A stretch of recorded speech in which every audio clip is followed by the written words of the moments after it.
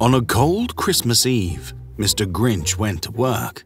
Little Patriot slept, stocking hung without quirk.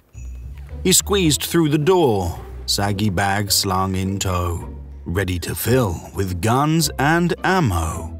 The glistening paper glowed under the tree, bows tied with love and stacked tall, three feet.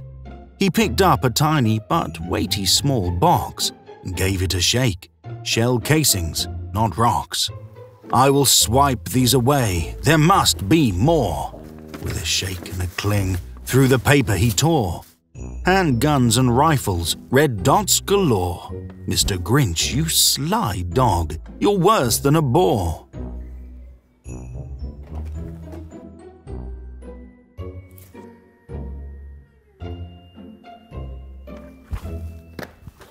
Glum, lumpy bag stuffed tightly with goods. The mean green Grinch stood up all that he could. A tap, a creak, a shadow danced in the room. Santa. A small voice echoed through. The nasty old Grinch dragged his loot to the door, gave a big sniff, and was seen no more.